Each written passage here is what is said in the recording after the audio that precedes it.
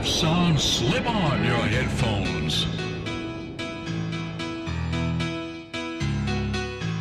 Power hits.